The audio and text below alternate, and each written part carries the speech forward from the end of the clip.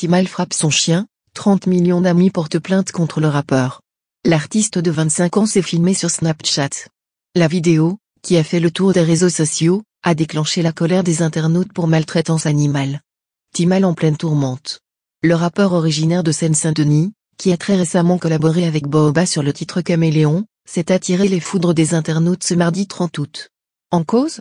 Une vidéo le montrant frapper son chien, qu'il a lui-même posté sur Snapchat.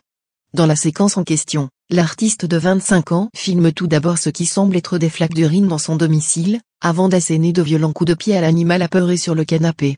Les images, qui peuvent heurter, ont très rapidement fait le tour des réseaux sociaux.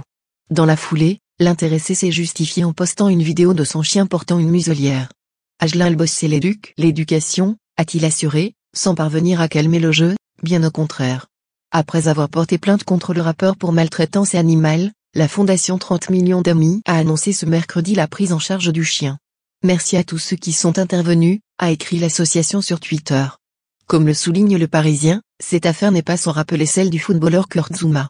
En début d'année, l'international français avait été filmé, là aussi sur Snapchat, en train de frapper son chat.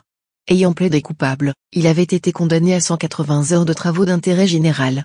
La justice britannique lui avait également interdit d'acquérir un chat pour les cinq prochaines années.